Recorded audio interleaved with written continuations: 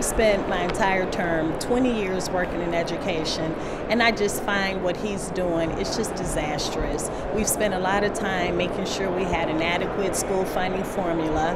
We put the appropriate amount of funds there, and the governor's now playing a game with a shell game with cost shift, leading people to believe that he's increasing funding in education when he's actually putting an additional debt on property tax owners with the proposed cost shift. We talk about unemployment amongst young people, and the governor proposed a $26 million youth training skill building in Murphysboro and other communities that um, unemployment rate isn't as high, the challenges aren't as great, but it's a statewide problem that we have. But to tuck it down in an area to get him political wins, but not really trying to benefit those who need it the most, again, it's just disingenuous.